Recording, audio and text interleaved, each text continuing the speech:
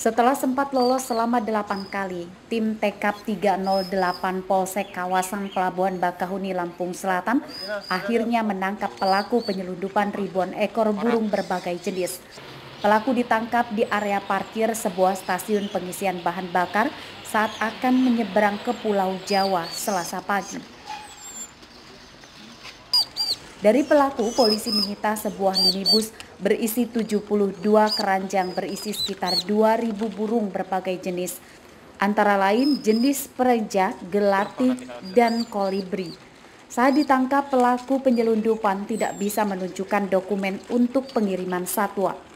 Berdasarkan pengakuan pelaku atas nama Afrizal, ribuan burung yang disita di dalam minibus berplat nomor BE 1378FE itu berasal dari kota metro dan akan dikirim ke Jakarta. Petugas kerap kebobolan karena pengiriman menggunakan mobil minibus yang sudah dimodifikasi.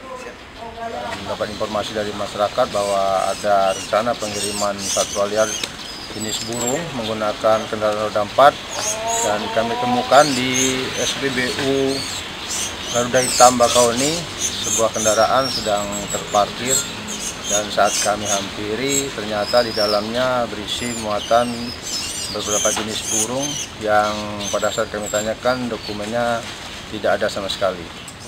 Penyitaan ribuan burung ini sebagai upaya pencegahan merebaknya virus flu burung atau avian influenza karena burung-burung yang diselundupkan tersebut tidak divaksin. Untuk penyidikan lebih lanjut, burung-burung tersebut dititipkan ke Balai Karantina Pertanian Kelas 1 Bandar Lampung. Atas perbuatannya, pelaku dijerat dengan Undang-Undang Nomor 16 Tahun 1992 tentang karantina ikan, hewan, dan tumbuhan. Ari Susanto melaporkan dari Lampung Selatan.